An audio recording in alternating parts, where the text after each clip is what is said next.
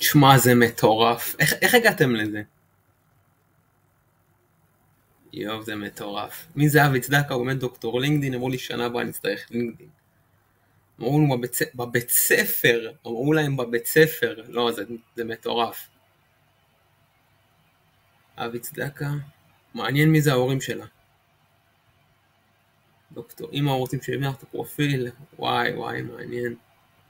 קצת מוקדם, כן, חד משמעית. חד משמעית, קצת מוקדם לדבר על לינקדאין, זה נכון. אני לא יודע מה זה בית ספר, תיכון, או כאילו סטיפ זה, זה אתר כאילו של צעירים, נכון? ילדים, כאילו תיכון, דברים כאלה. איך זה יכול להיות שדברו, הנה, כולם כותבים את זה. כנראה את ילדה מכוננת. כולם כותבים את זה. כולם כותבים את זה, זה, זה, זה מטורף.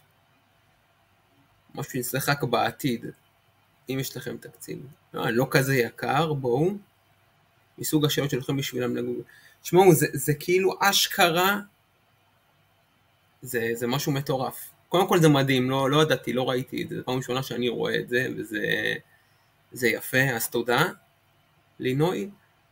והנה הוא שואל מה, מה עושים ברשת הזאתי בעצם, מה קראתי עכשיו, יש פה, זה, זה נכון, אני כאילו לא מבין איך זה, איך זה הגיע לפה, איך שואלים על, פה באתר סטיפס, ספציפית על, אה, על אה, לינקדין, ועליו, ספציפית עליי, כאילו זה, זה מטורף. זה מטורף, בעלים של דוקטור לינקדין.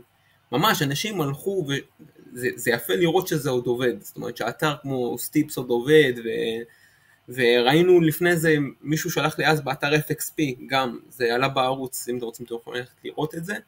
זה מטורף. אני כן חושב שככל שמתחילים אה, יותר מוקדם זה יותר טוב, בשביל לבנות קשרים, בשביל להתקדם, כן, אני חושב שכן.